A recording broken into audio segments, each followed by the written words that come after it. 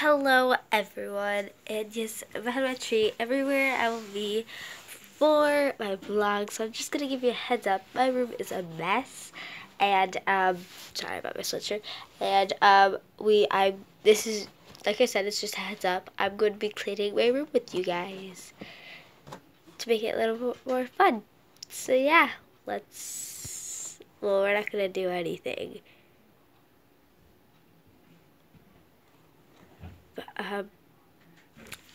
Yeah, I am going. I have somewhere to go right now, and I know one thing. I will be with you guys later.